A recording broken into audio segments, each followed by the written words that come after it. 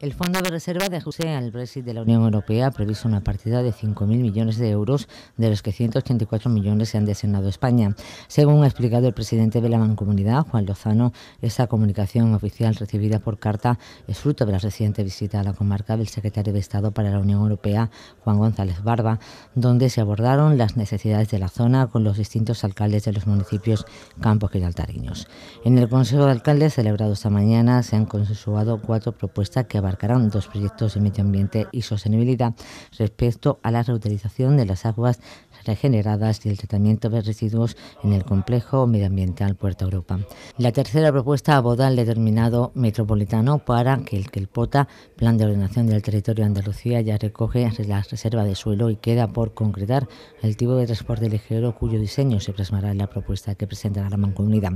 La cuarta propuesta será elaborar un proyecto sobre la imagen de la comarca con el impulso a la marca Campo de Gibraltar y el turismo sostenible. Todas se trabajarán durante el mes de agosto para poder ser presentadas ante el Ministerio de Asuntos Exteriores en el mes de septiembre. De estos 184 millones, pues bueno, que tiene una serie, una reglamentación y donde se nos traslada la posibilidad y el compromiso por parte del Ministerio de Asuntos Exteriores con esta comarca, con esta mancomunidad de municipios, con sus ocho ayuntamientos,